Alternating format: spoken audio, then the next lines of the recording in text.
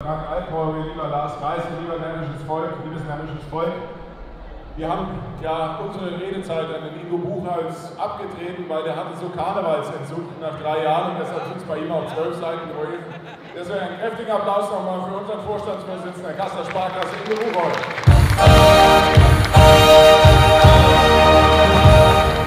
Und ich glaube nicht nur dem Ingo Buchholz ging das so, drei Jahre ohne Karneval in Kassel, im Landkreis Kassel.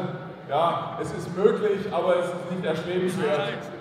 Und wir wollen das auch nie wieder erfahren. Das war viel zu viel zu lang und deshalb ist es schön, heute Abend in einem vollbesetzten, fast vollbesetzten Saal, die Empore lassen wir jetzt mal weg, aber in einem vollbesetzten Saal in der Mitte das Kongressballet hier in Kassel zu schauen. Größte Veranstaltung im Landkreis Kassel, in der Stadt Kassel. Und das Besondere, und das macht uns beide, glaube ich, lieber Andreas, auch sehr glücklich, dass wir das gemeinsam hinbekommen. Deshalb nochmal ein herzliches Dankeschön an die Karnevalsvereine im Landkreis Kassel und in der Stadt Kassel. Das war Beispiel geben. Dankeschön. Wir sind aus Kassel,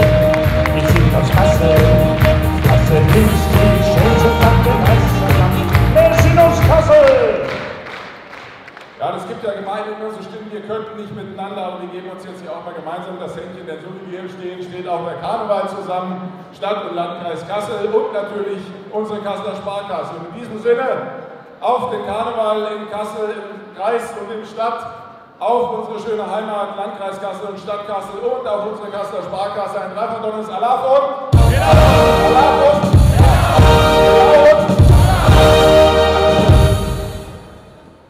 Ja, liebe Freundinnen und Freunde des Karnevals, liebe Totalitäten, liebe Vertreterinnen und Vertreter der Vereine, ich fasse mich jetzt wirklich kurz, ich verspreche es auch.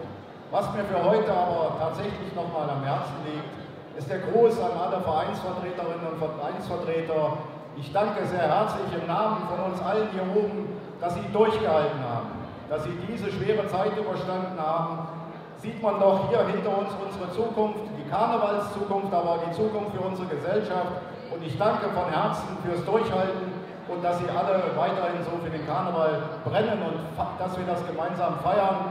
Und von daher sage ich zum Ende meines kurzen Grußwortes vielen Dank für den Besuch und vielen Dank fürs Durchhalten. Dankeschön.